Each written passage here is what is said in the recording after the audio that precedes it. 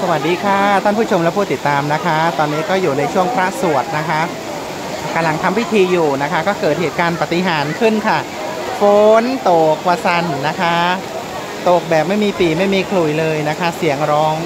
ฝนเสียงร้องครั้งเดียว ครึ่มครั้งเดียวแล้วก็ตกลงมาเลยนะคะ ถือว่าเป็นเรื่องที่แปลกมากนะคะ ทุกคนก็เลยต้องหลบฝนกันก่อน อันนี้เป็นบรรยากาศอัศจรรย์มากนะคะวันนี้นะคะ ไม่ต้องมีฟ้าร้องอะไรเลยนะ ร้องครั้งเดียวแล้วก็ตกลงมาเลยนะคะ